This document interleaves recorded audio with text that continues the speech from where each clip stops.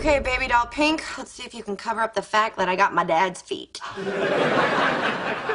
degrees, Sheldon. I just want to turn up the thermostat two degrees. Let me point out that two degrees can be the difference between water and steam. Yes, if we lived in a tea kettle. This is the temperature you agreed to in the roommate agreement. Oh, screw the roommate agreement. no, you don't screw the roommate agreement. The roommate agreement screws you. You know what? Go to hell and set their thermostat. I don't have to go to hell. It's 73 degrees. I'm there already.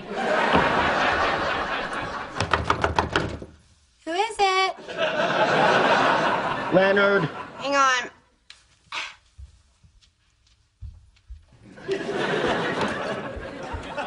Can I sleep on your couch tonight? Uh, well, you can try, but the people across the hall are being very noisy. I heard that, huh? Apparently, the one fella tried to adjust the thermostat, then the other fella went bat crap crazy. So you agree he's nuts? Well, not as nuts as the guy who chooses to live with him. Believe it or not, he was worse when I met him. I do not believe that. You are so naive. Just like I was seven years ago.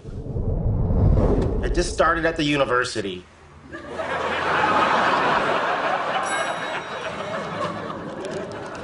Uh, excuse me, I'm, I'm looking for uh, Sheldon Cooper's apartment. Oh, I bet you're here to check out the room for rent. Yeah.